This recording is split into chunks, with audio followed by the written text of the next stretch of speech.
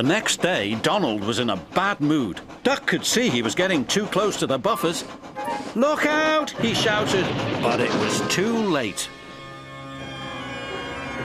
Donald's driver was very cross. This wouldn't have happened if you were working with Douglas, he said.